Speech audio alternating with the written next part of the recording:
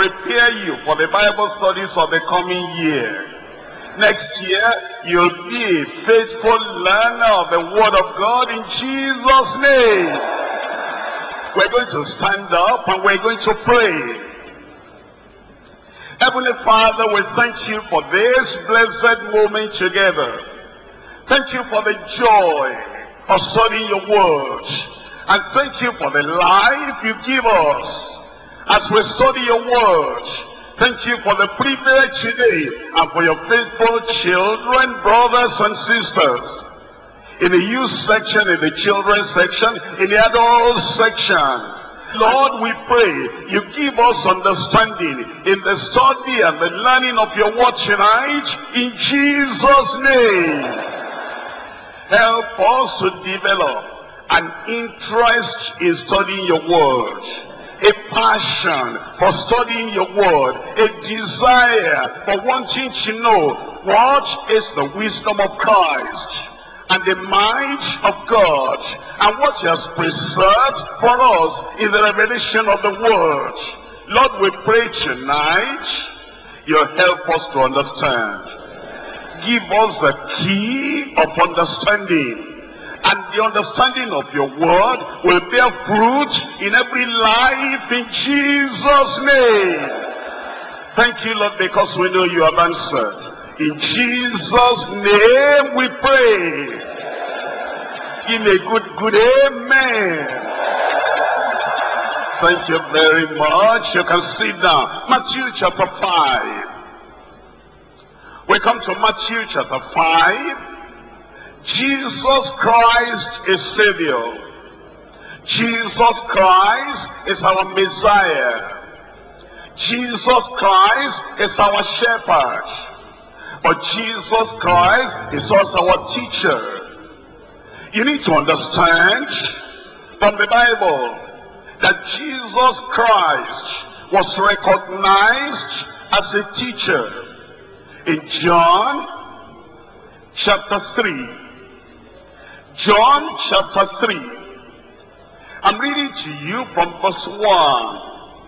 There was a man of the Pharisees named Nicodemus, a ruler of the Jews. The same came to Jesus by night and said unto him, Rabbi, that means master, we know that thou art a teacher come from God. For no man can do these miracles that thou doest except God be with him.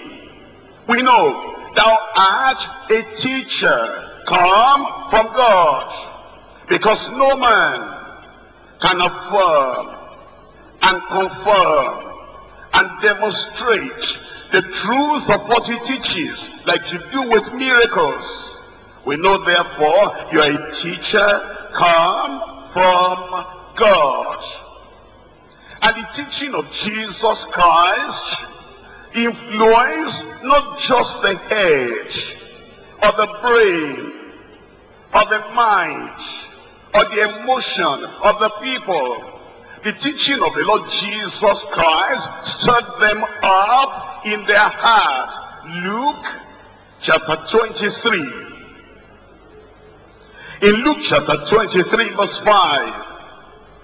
And they were the more fierce, saying, He stirreth up the people, teaching throughout all Jewry, beginning from Galilee to this place. Whenever Jesus taught the people, he stirred up their hearts. He aroused their minds that they will want to serve the Lord by the teaching that he gave them. And his method of teaching was different from the teaching of the scribes and Pharisees. Matthew chapter 7. In Matthew chapter 7, reading from verse 28 and verse 29. And it came to pass when Jesus had ended these sayings, the people were astonished at his doctrine, for he taught them as one having authority and not as the scribes. You will see then that Jesus was a master teacher. He was a teacher like no other teacher. And it's the teaching of Christ we're looking at tonight. Matthew chapter 5 verse 16. Let your light so shine before men that they may see your good works and glorify your Father which is in heaven. Actually, Jesus had been teaching what is called the Beatitudes. Because he said in verse 3, Blessed are the poor in spirit, the lowly in spirit. Woe unto the proud in spirit, but blessed are the poor in spirit, the humble in spirit. For theirs is the kingdom of God. Blessed are they that mourn. The people that mourn where there is sin. Like Jeremiah, my eyes drop down of the tears because they do not obey your word like the psalmist. My weeping for my tears. They wet my bed every night because of the people that do not obey your word. Blessed are they that mourn. Woe unto them that laugh at iniquity. But blessed are they that mourn, for they shall be comforted. Blessed are the meek, the gentle, the meek, the tender, the compassionate. Blessed are the meek, for they shall inherit the earth. Blessed are they which do hunger and thirst after righteousness, for they shall be filled. When we're thirsty after righteousness, and our passion, our hunger, our desire is for righteousness. It says, such people will be filled. And blessed are the merciful, for they shall obtain mercy. Blessed are the pure in heart, for they shall see God. Blessed are the peacemakers, the peacemakers.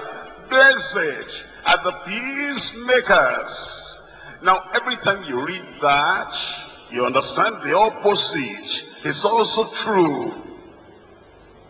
Woe unto the peace takers, the troubleshooters, and the troublemakers, because they'll not get to the kingdom of God. But blessed are the peacemakers, because they shall be called the children of God.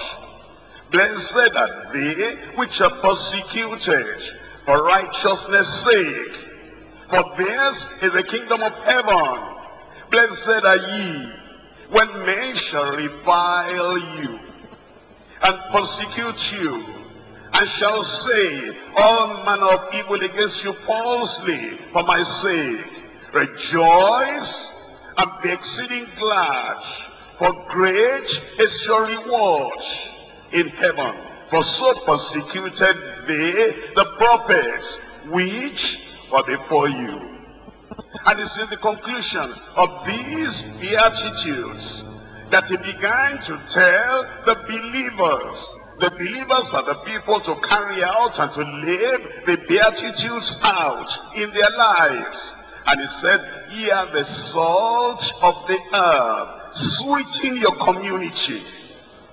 Contribute something sweet to your community. Ye are the salt of the earth, not the sugar.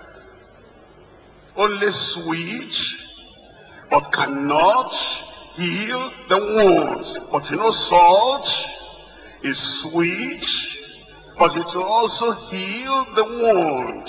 Ye are the salt of the earth. But if the salt had lost its savor, its sweetness, a saltiness, wherewith shall it be salted. It is meant for good for nothing, but to be cast out and to be trodden under the foot of men. It's your salvation that makes you the salt of the earth. It's your righteousness that makes you the salt of the earth. It's the godliness in your life that makes you the salt of the earth. When you lose that salvation, when you lose that righteousness, when you lose that godliness, the salt has lost its savor. And it will not be cast out to be trodden under the foot of men. And then it says, ye are the light of the world. A city that is set on an hill cannot be hid.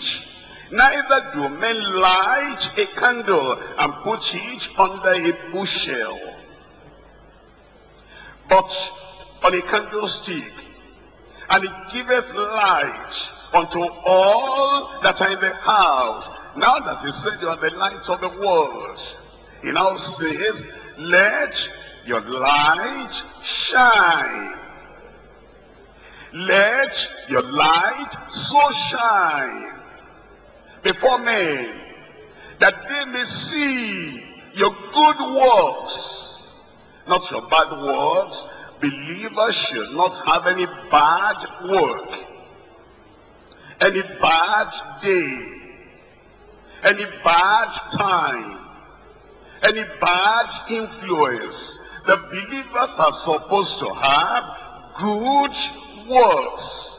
Let your light so shine before men. This word, the little word S-O, S-O. I don't mean state overseer, I mean the word so. So, it says, let your light so shine. So shine. What does that mean?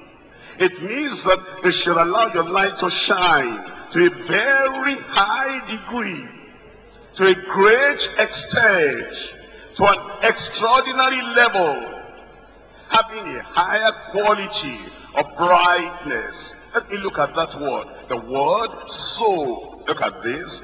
Let your light so shine. Look at that word. Follow me through the Bible for that word so. In First Corinthians chapter 9. First Corinthians chapter 9. I'm reading from verse 24. In First Corinthians chapter 9 verse 24. Know ye not that they which run in a race run all, but one receiveth the prize? Have you seen the people running a race? You know, some people are running moderately.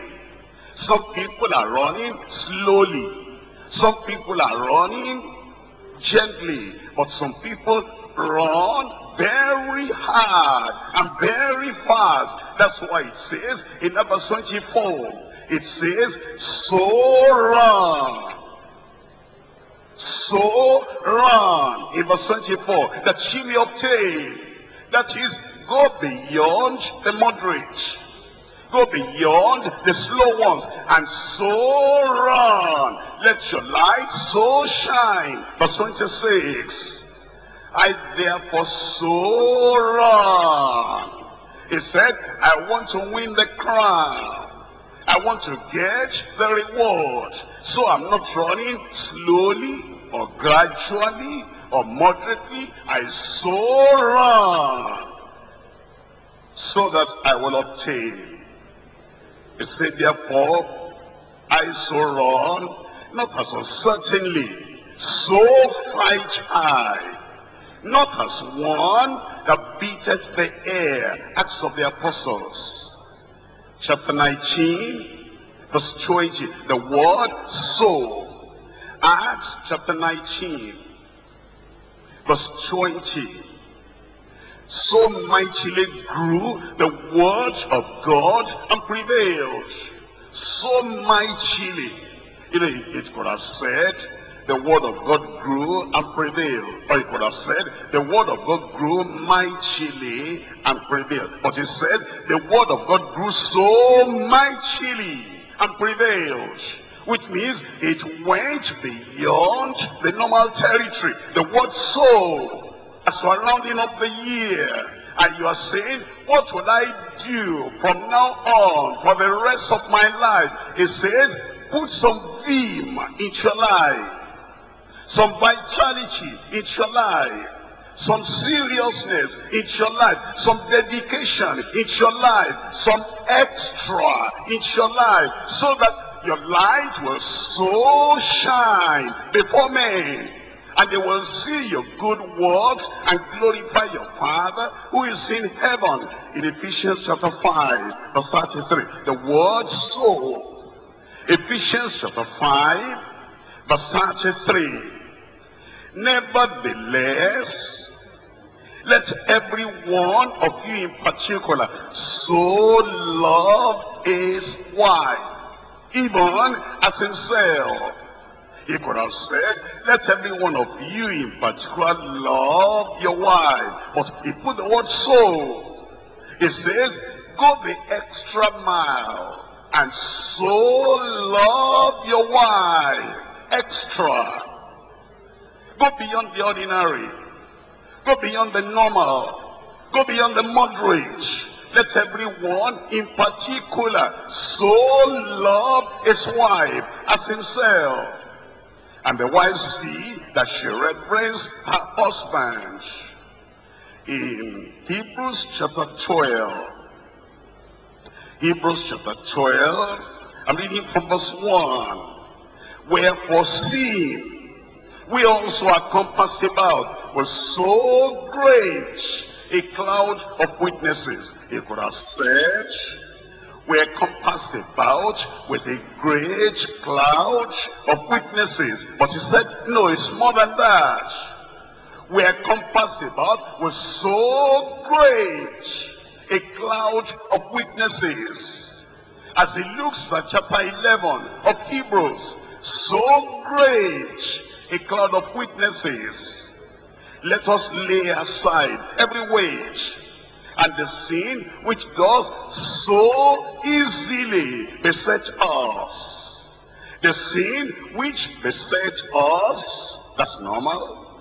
The sin which easily besets us, that's a little bit above normal. But the sin which so easily, so easily besets us, he puts the word so for us to be more careful, for us to be more diligent, for us to be more sincere, for us to be more dedicated unto the Lord. Let's come back now to Matthew chapter 5.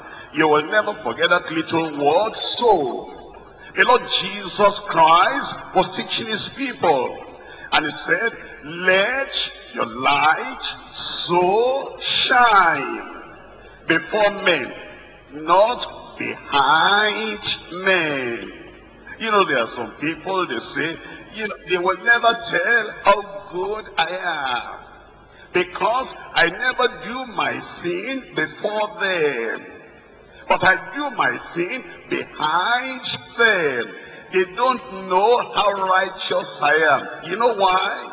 I never demonstrate my righteousness before them. I demonstrate my righteousness behind them. Jesus said, no. If you have it, leave it out and let it be before men. If you are faithful, not behind us, before us, in our presence. If you are gentle, not behind us, before us, in our presence. If you appreciate the doctrine, the teaching, and you're willing to live by it, live by it here while we're here together before us, not behind us. So we can praise God for you. So your teacher, your pastor can say, praise the Lord. These people, they are the light. They have accepted the word. They're living by the word. Live that life out before us here. Don't say, I will go and live the life at home behind men. No.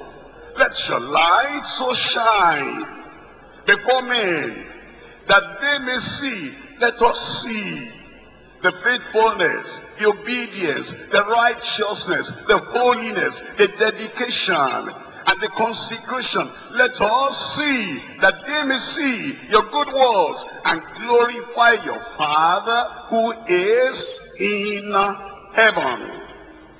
We divide the message to three parts. Number one, living for Christ before men for God's glory. Living for Christ before men for God's glory. And then number two. Number two is laboring in Christ's ministry for God's glory. Laboring in Christ's ministry for God's glory. Number three, likeness to Christ's model of glorifying God. Come back to number one. Living for Christ before men. Come back to Matthew chapter 5. Matthew chapter 5 verse 16. Let your light so shine before men. This word, these words before men, that's what we're looking at. Living for Christ before men, for God's glory. We need to balance it up here before men. If The Pharisees, they were guilty of emphasizing before men only. Not before God, before men. And it made them to demonstrate it, it was for show. It was for the praise of men, before men. And they concentrated on that. They never thought about God. They only did it before men. And Jesus condemned that. Matthew chapter 6, verse 1. In Matthew chapter 6, verse 1, take heed that ye do not your alms before men. That's the balance. That's the balance. Take heed that your concentration is not just to have the praise of men, the appreciation of men before men. Take heed that ye do not your alms before men to be seen of them. Otherwise, ye, uh, ye have no reward of your Father which is in heaven. And look at Luke chapter 16. Luke chapter 16. This was the error of the Pharisees. The only thing they wanted was for people to see. When the people were not there, they won't do anything good. When the people were there, then they get up and they do something to have the praise of men. That's bad. That has no recognition in heaven. Luke chapter 16, verse 15.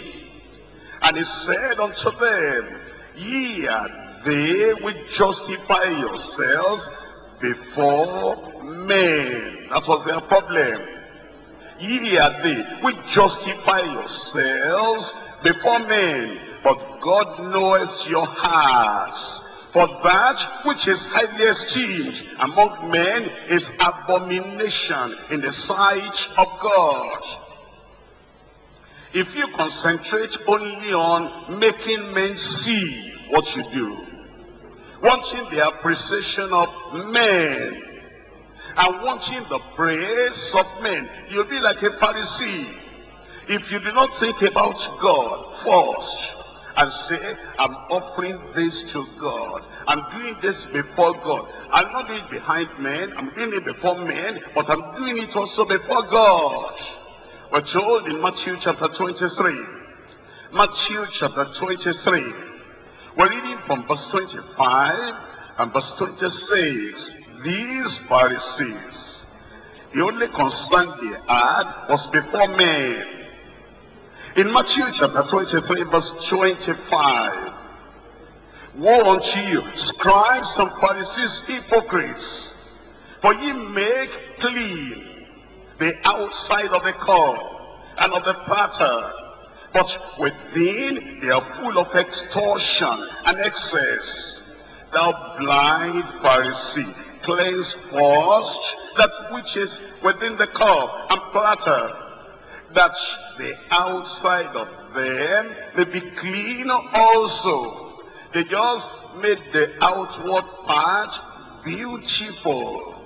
And then the inward heart was so corrupt and so dirty and so rotten and so unclean. Abomination in the sight of God. But you see, before men, they painted everything. Don't go to that bad extreme. Think about God first. Genesis chapter 17. Genesis chapter 17 verse 1. And when Abraham was 90 years old and nine, the Lord appeared to Abraham and said unto him, I am the Lord, I am the Almighty God. Walk before me and be thou perfect. God is number one. Your salvation. You are conscious of God every time. And you know that God is everywhere and is watching you. There are some eyes, big eyes watching you. And he knows your thoughts, he knows your mind, he knows your purpose, he knows your intention. Yes, your light will shine before men. But the bottom line, the reason, the goal, the reason for that is that they may glorify God. Your mind is on God, not on yourself. And so walk before me and be thou perfect. In Luke chapter 1, Luke chapter 1, verses 74 and 75. Luke chapter 1 verse 74 that he will grant unto us that we being delivered out of the hand of our enemies might serve him without fear in holiness and righteousness before him. In holiness and righteousness before him. That is the first thing the priority of a real child of God Yes, your light will shine before men. But are you shining before the Almighty God? Because if it is limited to just show, and you are just doing it so that men may see, that's a Pharisee. But if you offer it to the Almighty God first, and then you are living in holiness and righteousness before God all the days of your life. Then you can now shine before men.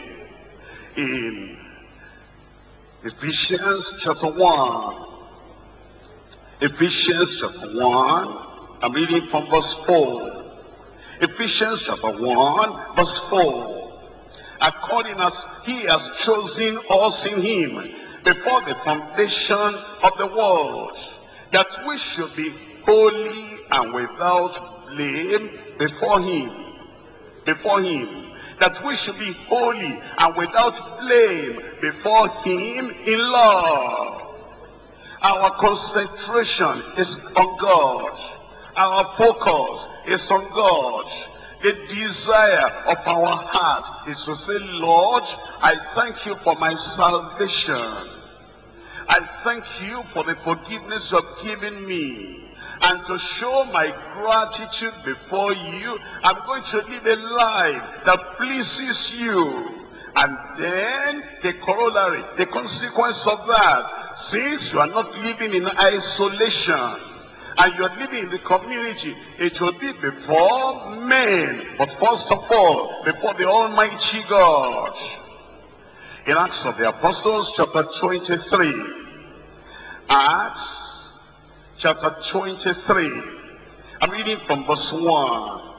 And Paul, earnestly beholding the council, said, Men and brethren, I have lived in all good conscience before God, before God, before the Almighty God, before his all-seeing eyes. I have lived in all good conscience before God until this day.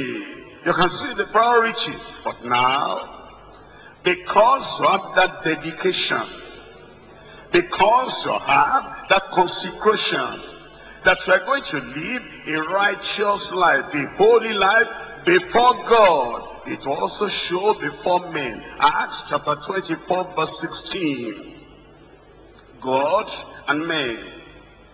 God first. Acts chapter 24 verse 16. Herein do I exercise myself to have always a conscious void of offense toward God, number one. He is always number one. He has to be in the first place to have a conscience void of offense toward God and toward men. Now that you live a righteous life before God, then it also appear before men. Daniel chapter 6. In Daniel chapter 6, we're reading from verse 22. Daniel chapter 6, verse 22. My God has sent his angel and has shut the lion's mouth that they have not hurt me for as much as before him. Number one. For as much as before him, before God, innocency was found in me, and also before thee, O king, I done no hurt. Before him, before God, number one, and then before thee, a man, O king, I have not done any evil. Let your light so shine, number one, before God. Let God see the reality, the genuineness, and the depth of that holiness that you profess, that you possess before the Almighty God. And then after that, before men, let your light so shine before men. This is the balance of each all. And then they will glorify, glorify God who is in heaven. We're looking at First Peter chapter 2. First Peter chapter 2, verse 12. In First Peter chapter 2, verse 12, having your conversation honest among the Gentiles, that whereas they speak against you as evildoers, they may by your good works, which they shall behold, by your good works, which they shall see, by your good works, which they shall observe, by your good works, which they shall behold, glorify God in the day of visitation. That's the reason you have those good words. Let your light so shine before men, not behind men, that they may see your good works. And then they will glorify your Father. They will not glorify you. They will not praise just you. They will not just say, we appreciate you. They will glorify your Father who is in heaven. If what the people see about you only make them think about you, it has failed. If all they see is that, ah, isn't that man a great man? And they never think about God. It doesn't draw their hearts away from you unto God. That's useless. But let your light so shine before men that they may see your good works and not glorify you but glorify God the Father in heaven. Romans chapter 12. In Romans chapter 12, we're looking at verse 17. Romans chapter 12, verse 17. Recompense to no man evil for evil. Provide things honest in the sight of all men. That's the challenge, and that is also the blessing that the Lord himself has provided for every one of us. I come to point number two. Laboring in Christ's ministry for God's glory. Laboring in Christ's ministry for God's glory. Matthew chapter 5 again. We come back to Matthew chapter 5, verse 16. That's what we're studying today. Laboring in Christ's ministry for God's glory. Matthew chapter 5, verse 16. Let your light so shine before men that they may see your good works and glorify God, your Father, which is in heaven. He said, we should let our light shine so that they will see something. What are they to see?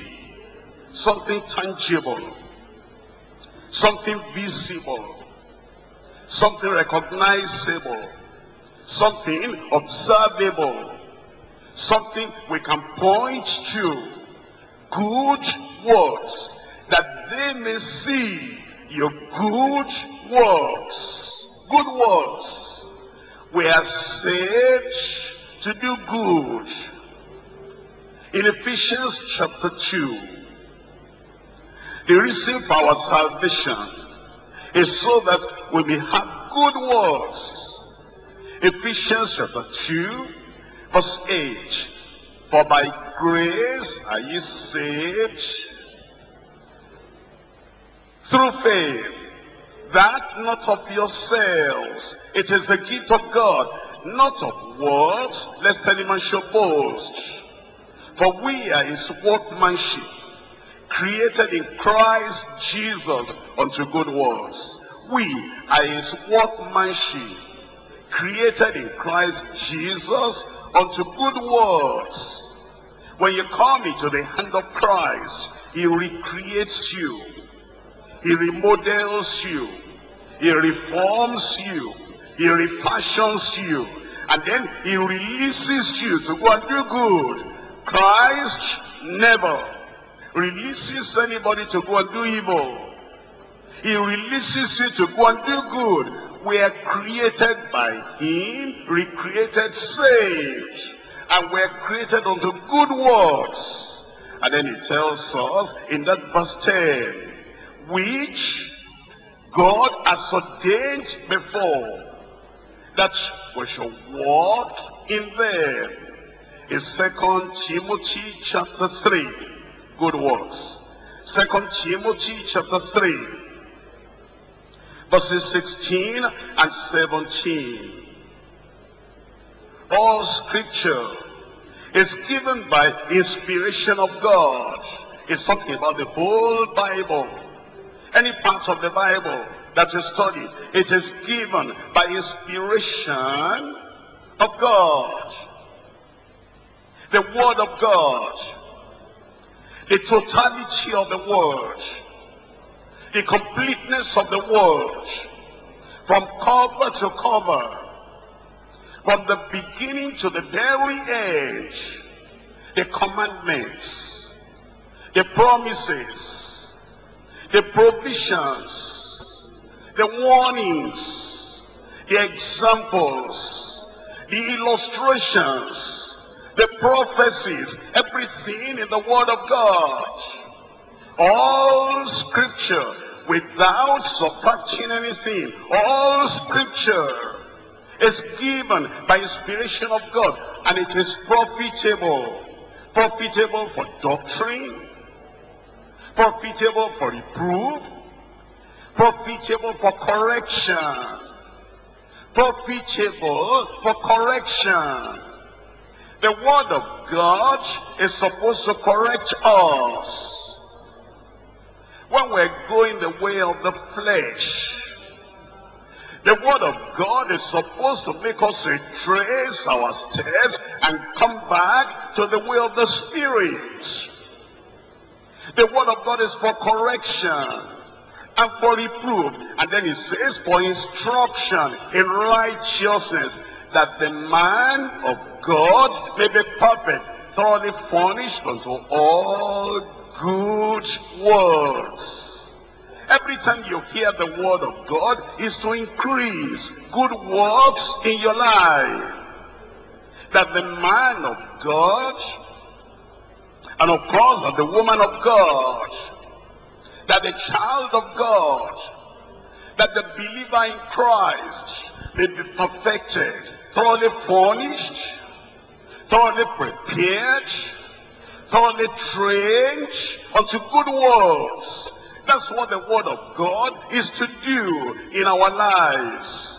And then we're told in 2 Timothy chapter 2.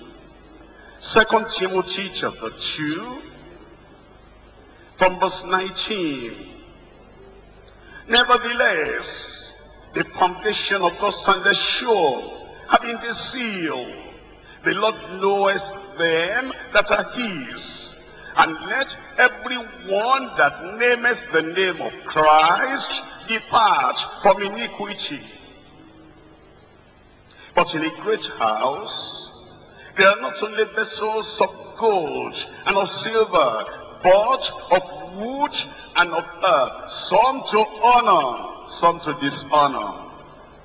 You will be for honor. You will not be for dishonor. Uh, you know, what a shame when, you know, you have a child at home. And then he goes to school.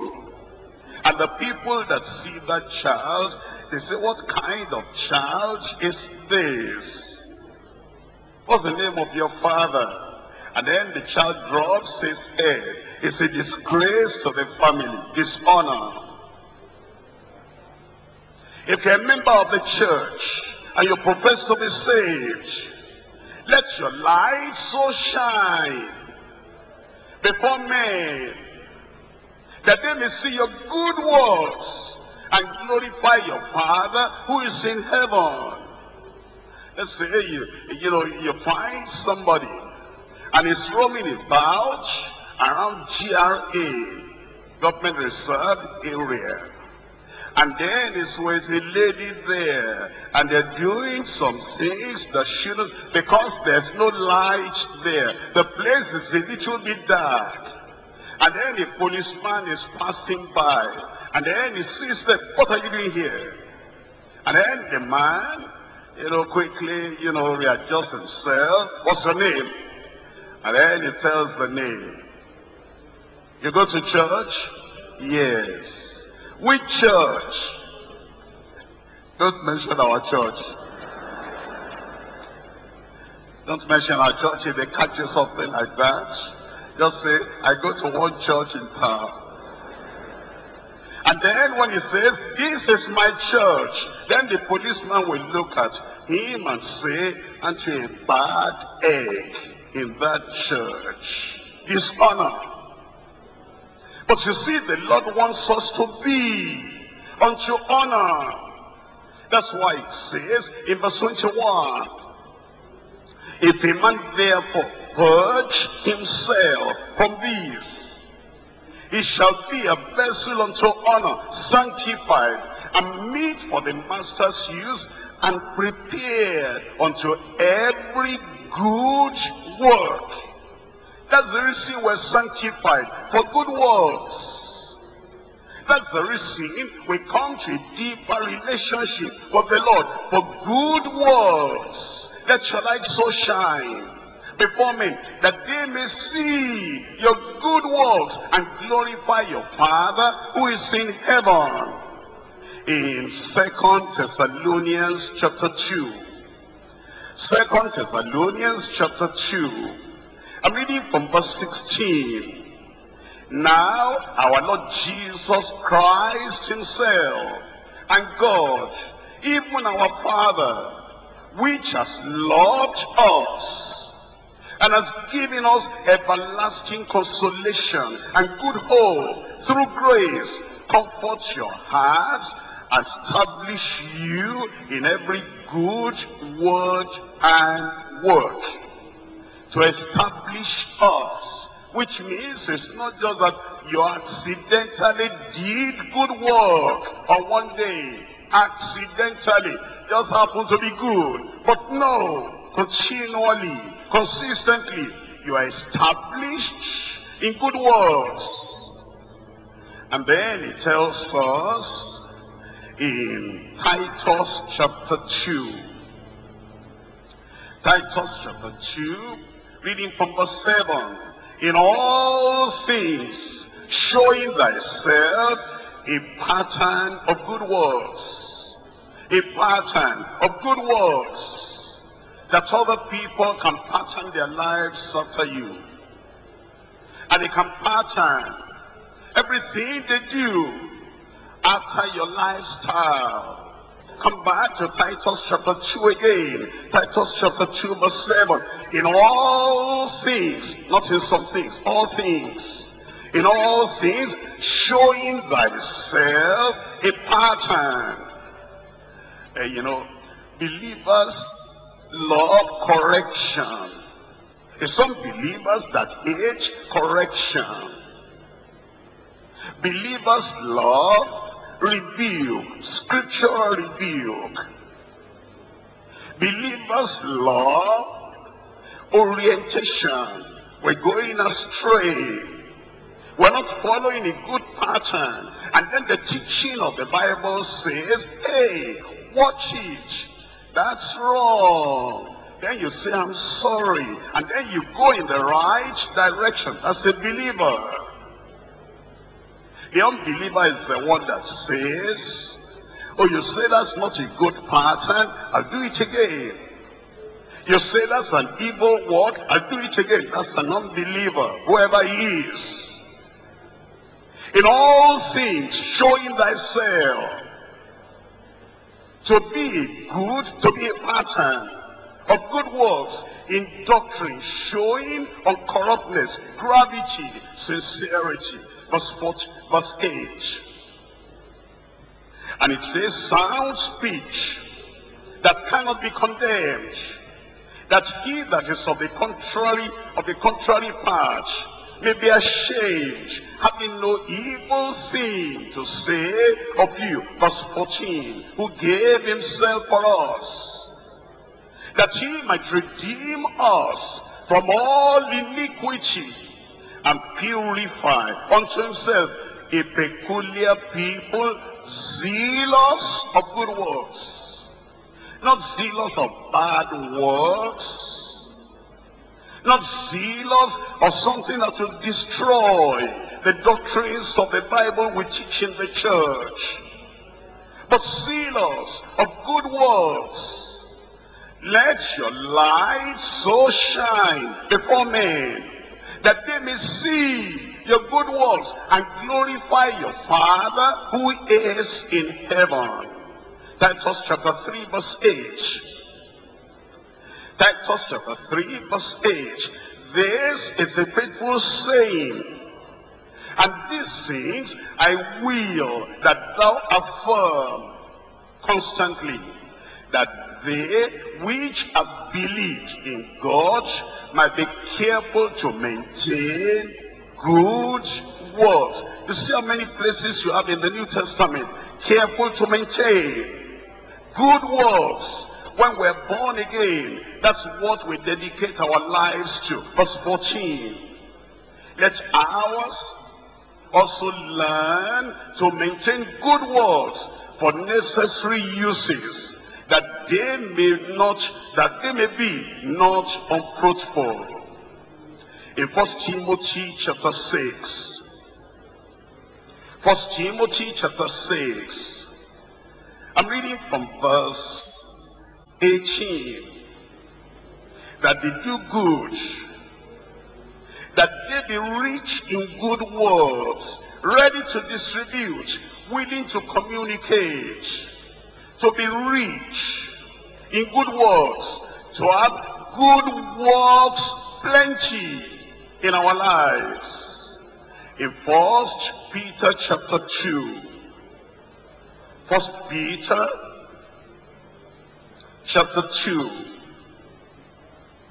verse 12, having your conversation honest among the Gentiles, that whereas they speak against you as evildoers, they may by your good works, they may by your good works, which they shall behold, glorify God in the day of visitation.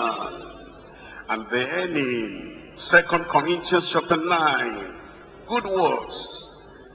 Every time, good works for a believer. That's the essence of being saved. That's the result of being saved. That's the joy of being saved. Once you are bad, for by grace now you are good. Once evil works issued out of you, but now you know Christ, good works are produced in your life. Second Corinthians chapter 9 verse 8. And God is able to make all grace abound toward you. That ye always having all sufficiency in all things may abound to every good work. See it all over the New Testament. Good works all the time. Hebrews chapter 10. Hebrews chapter 10. We're reading from verse 24. Hebrews chapter 10, verse 24. And let us consider one another to provoke unto love and to good works. Let us consider one another to encourage, to stir up, to stimulate, to influence, to provoke unto love and to good works. Help your neighbor to want to be good. Help the ministers to want to be their best. Help everyone you come across to want to go beyond this natural strength and do something that will benefit a community. You provoke them to love and to good works. It tells us in Hebrews chapter 13, verses 20 and 21. Hebrews chapter 13, verse 20. Now the God of peace, that brought again from the dead, and not Jesus, that great shepherd of the sheep, through the blood of the everlasting covenant, make you perfect in every good work. Make you perfect in every good work. Make you perfect in every good work. To do his will, walking in you that which is well-pleasing in his sight, through Jesus Christ, to whom be glory forever and ever. And the people of God said. We come to point number three. In point number three, likeness to Christ's model of glorifying God. Let's come back to Matthew chapter 5. Matthew chapter 5, verse 16. Let your light so shine. Let, you understand that word? Let your light so shine. You know, sometimes you have a little boy. And then you put that little boy in between your two legs. And you're holding him. And it says, let me run. Release me to run. And sometimes a child is trying to ride. And you think he cannot ride well. And you're holding his hand. He says, let me write it myself. Let me. Don't restrict me. Don't hold my hand. Let me do it. And sometimes the person is facing a challenge.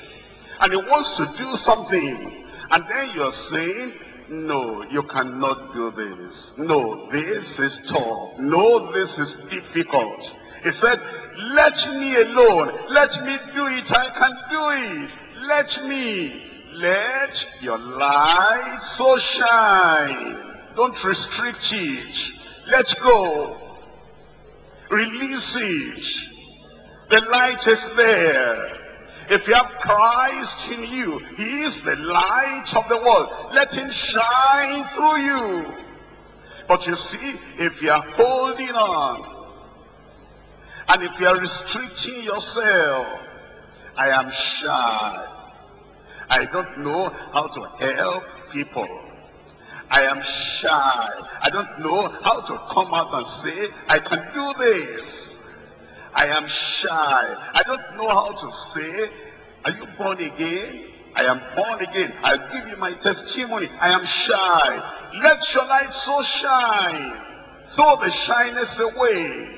The things that tie you, the things that bind you, the things that restrict you, let your light so shine. You know, there are times, it's like two people, I read about them, husband and wife actually, something happened. And each of them, they made themselves and they says, I'll not, they said, I'll not talk first. And the husband kept quiet. And the wife kept quiet. And then there were some interesting things that somebody should talk about. No, I made a decision. And I made up my mind. I will not talk first. And there was something funny that husband and wife should laugh about. And the wife said, no. I said I will not, I will not talk first. If I talk first, he will think I am weak. And then the man, there was something to laugh about and something to talk about. And then the man said, no, I am a man. I'm going to stand by my decision. I will not laugh first. And they were looking at themselves. And there was a laughter inside them. They will not let it out. There was a voice inside them. They will not let it out. I made up my mind. I will not talk first. And all that time, they were miserable. When you bottle it in, I will not talk first. I will not act first. I will not smile first. I will not say anything false. Both of them were miserable. And then their little child was crawling. And was crawling near the fire. I will not talk first. I will not shout first. And just as the child was about to get into the fire with the hand. The woman said, hey! And the wife said, okay, I'm going to talk now because you talk first. Somebody must talk first. Let your light so shine. Let's go and let God. All the bad decision, I will not talk first. I will not smile first. I will not help first. I will not go first. I will not do anything, interact first. I make up my mind. What kind of mind is that? That will not want to obey the Lord. What kind of mind is that? That will not let go and let God. Let your light so shine before men that they may see your good works and glorify your Father who is in heaven. When Jesus came into this world, he permitted his light to shine. There was no restriction. It just shone everywhere. And that's why he says in John chapter 17 verse 4. John chapter 17 verse 4. I have glorified thee on the earth. I have finished the work which thou gavest me to do. And that's the example the Lord wants us to follow. He wants us to shine. He wants our light to shine. He tells us in John chapter 8, verse chapter 15, verse 8, Herein is my Father glorified, that ye bear much fruit. So shall ye be my disciples. The fruit is the good works. The Lord has taught us tonight in his word. And he has said, if you want to show that Calvary has an impact in your life, if you want to show that Calvary has an effect in your life, here is something you can do. Christ is living on the inside of your heart right now. Let him shine through you. Let your light so shine before men that they may see your good works and glorify your Father who is in heaven. My life will be a glory to God. My life will be a glory to God. I will not be a dishonor in the house of God. I said I will not be a dishonor in the house of God. Are you going to be a dishonor? You will honor the Lord. Why don't you stand up and say, Lord, I thank you for what you have taught me today. My light will shine. My light will shine. My light will shine. Let your light so shine. Let your light so shine. Let it shine. Let it shine. Let it shine. Open your mouth and talk to the Lord.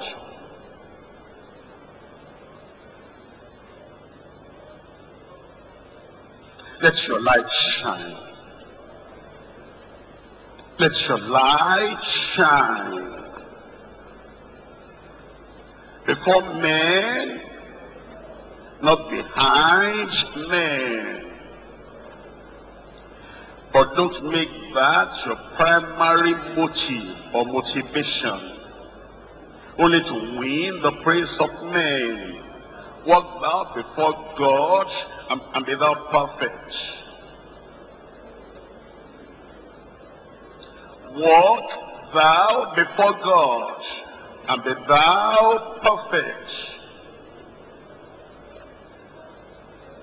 That he might deliver us from the hands of our enemies. And that we might serve him without fear. In holiness and righteousness before him all the days of our lives.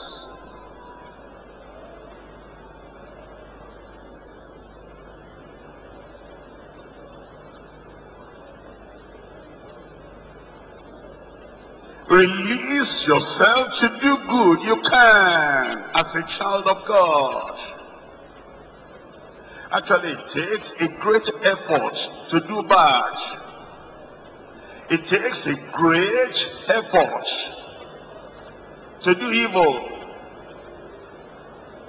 It takes a greater effort to frown than to smile. It takes a great planning to hurt somebody. It takes less planning, less effort, less energy to help. Christ is living on the inside of you. And he is the light of the world. And he has now made you light let that light shine before men. Before men, not behind them. Yes, God is your priority. God is number one. But then Jesus Christ himself has commanded us, let your light so shine before men that they may see your good works and glorify your Father who is in heaven. Your life will honor the Father. Your life will be a glory to the Heavenly Father.